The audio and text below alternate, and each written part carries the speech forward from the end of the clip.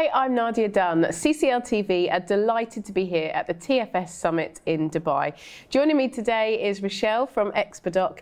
Rochelle, thank you so much for being here. How are you doing? Thank you as well, Nadia. I'm doing great, actually. Um, we've had a lot of events and activities really going on for uh, last night. So, yeah, um, I'm still trying to keep my energy as high as yesterday. Yeah.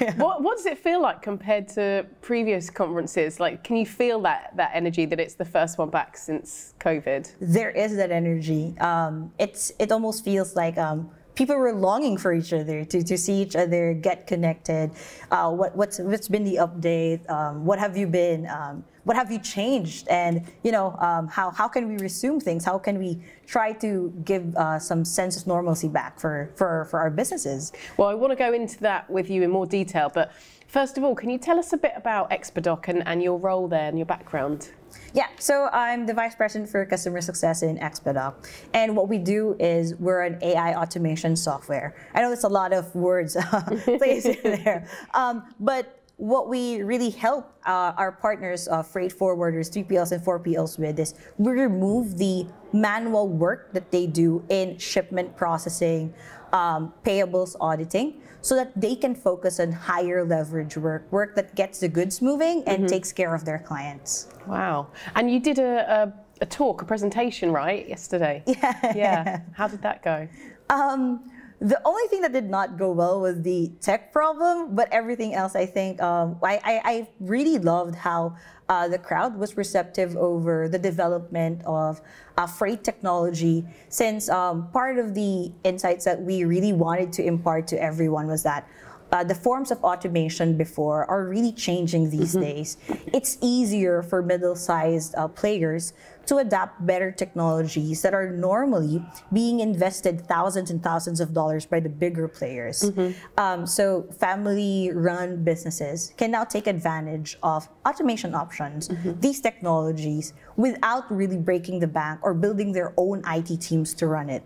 It's in the market, and you know they can have these options for themselves. And has that market changed since COVID? Like, how has that affected you? It did. Um, the thing is that when they, when we talk about technology, people usually think that it would lead to downsizing, mm-hmm. people getting fired.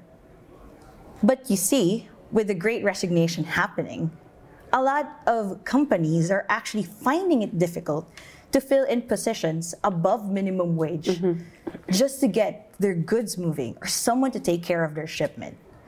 It's not going to lead into uh, really firing people, but it's going to help solve the problem in uh, missing scale uh, scalability plans. Because mm-hmm.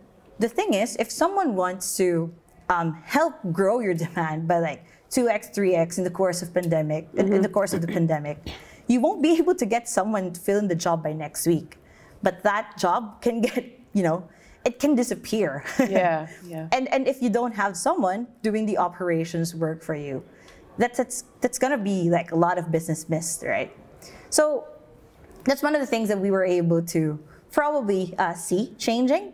More people who are uh, receptive to to these technological changes, and they're seeing like how disruptions mm-hmm. can uh, can lead to um, be, beefing up their businesses. Um, uh, contingency plans because no one expected the mm-hmm. pandemic, right? yeah, and then, but what does the future look like? Like, how how is that? Is how's it going to change? Yeah, I think that people will start to work smarter. Um, people these days prefer to work remotely, right? Yeah. Being with their families, being in safer environments. But at the same time, use more tools to make sure that um, work is redefined. Mm-hmm. That we're uh, we're doing things that actually matter in moving the goods, making mm-hmm. sure that vaccines reach on time, that you get your shipments cleared because um, someone in the other part of the world is really waiting for it to to, to be in there. Mm-hmm. Although you really need humans to get that uh, service going, um, you can remove the non-essential services of administrative work yeah. and get it done faster. And Rochelle, what are your thoughts about CCL TV being here at the conference? I think it's great. Um, it, it's not usual that we get to find um, avenues wherein members of communities get to um, have a have an avenue to speak out, Mm-hmm. uh, voice out what they think about the industry, or even um, uh, give give some thoughts about uh, the the events and activities that are happening. Having that avenue is, is really great because it, it also helps us like get to know more about what's happening around us that we can't capture in the one-on-ones that we are doing. Yeah, absolutely. Yeah, it's try- trying to bring everyone together, really, isn't it? And yeah, thank you so much for being here. It's really lovely to see you face to face. And yeah, hopefully we'll see you at the next one. Yeah. Thank you. Hopefully.